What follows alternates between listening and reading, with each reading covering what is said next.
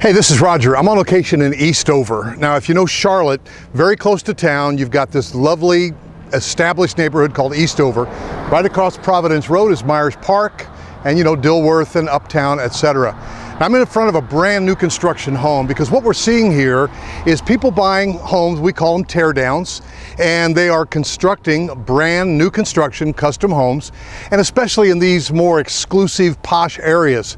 So let me get this right. You're a banker that's being transferred, you're a doctor that got a promotion, and you're looking to spend a couple of million bucks for a new home.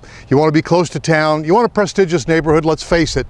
So Eastover, and with this grandfather homes luxury home, uh, we might be in the money here. This is over 7,000 square feet. Uh, look at the elegance of that. It's the painted brick, it's a new trend, but 7,000 square feet, this might be the dream home that you've been looking for.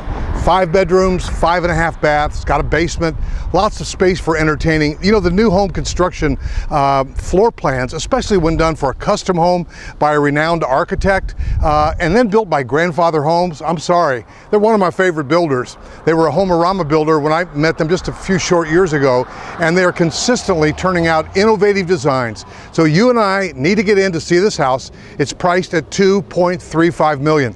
My number is 704 345 3400. And if this isn't the right house or the price is a bit salty, we can go over into Myers Park. There's some new construction from David Weekley and about the 1.4 million. There's some other million uh, dollar uh, homes being built in Myers Park. This is Eastover. They're connected like sisters right across Providence Road. So give me a call. I would love to take you to see this grandfather homes beauty. 7,000 square feet.